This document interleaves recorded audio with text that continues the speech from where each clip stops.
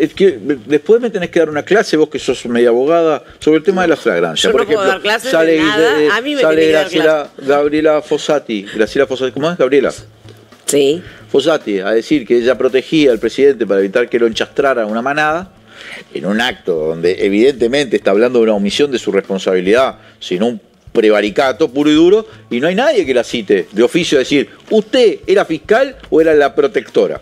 Mira, Y hay muchos delitos ahí, de- de- indicios de delitos.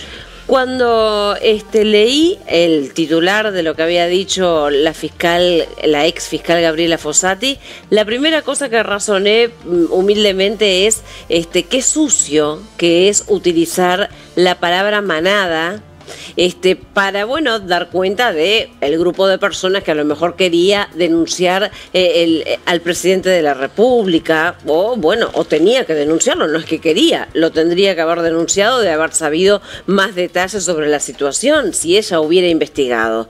No es una cuestión de querer sino que de tener no pero utilizar la palabra manada por lo menos a mí humildemente me hizo como una cosa este no uno se hace la referencia a lo mejor a, a los grupos que, mm, bueno, de hombres en general que violan a, a una mujer, ¿no? Como se ha visto en, no en muchísimos casos por pero suerte, ella pero siempre trató de hacer eso. Gabriela Fossati trató, Trató de eso. igualar y trató de... Y no denunció a, Fernando Romano, no denunció a Fernando Romano por una agresión de género, cuando claramente la discusión que había después que Fernando Romano eh, había subrogado a la Eso es usar la situación. Eso usa las cosas, usa todos los instrumentos. No debe haber persona más conservadora y machista que Gabriela Fossati. Entonces, este, utilizar eh, la violencia de género y apelar a eso, es, es- e- eso es bastante, bueno, sucio. Sucio, Para proteger, creo que es la, para proteger. la forma de, de- de- de clasificarlo. Solo quiero una cosa más. Te das cuenta que una vez dijo, ahora dijo esto que tenían que proteger al presidente para que no lo enchastraran, y antes había dicho Astesiano que que no quería que lo cosificaran. Exacto. O sea, todas las acciones de Es- ellas son para Es una madre, ahí está. La madre una de algunos. Una madre de algunos, este, bueno, ves, si fuera otro país, esa persona tendría que ser de alguna manera este, enjuiciada por sus procedimientos, porque realmente no tiene nada que ver con un fiscal andar protegiendo. O sea, ella no, te- no tiene que proteger. Mm, Tal vez el fiscal tiene que proteger, sí, a la víctima, ¿no? A quien representa, que se representa a la sociedad que tiene que proteger. Pero justamente si se habían incurrido en delitos, ella tenía que proteger a la sociedad del presidente de la República y de... la labor de un fiscal. Para mí, Este- que soy un lego, es siempre acusar.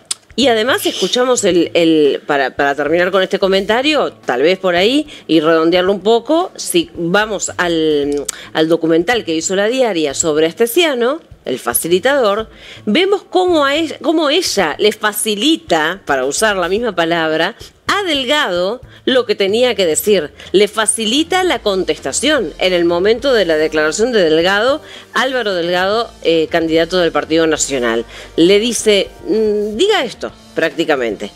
Eh, es i- i- impactante. Su rol en la sociedad realmente... Nunca habíamos visto una cosa así, por No. en los últimos años.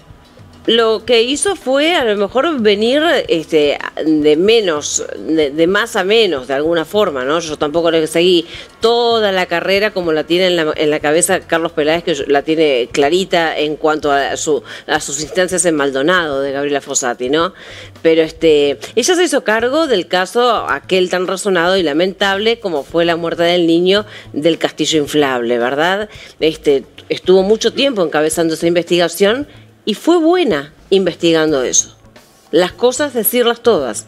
Este, después eh, piró, tal vez enloqueció. Y bueno, sí, la- me las que ella, ella prescribió eh, eh, todo un balneario.